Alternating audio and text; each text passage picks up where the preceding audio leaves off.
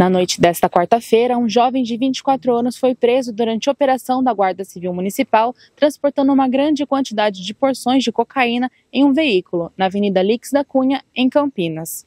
Ao todo, foram encontradas 11.440 porções de cocaína no carro do indivíduo. Equipes da Guarda Civil Municipal estavam em uma blitz quando um veículo fez uma manobra de retorno, tentando fugir do local, o que chamou a atenção dos oficiais.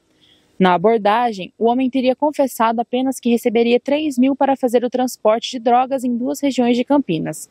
As drogas já estavam separadas em kits para venda, porém não foi informada onde seriam descarregadas.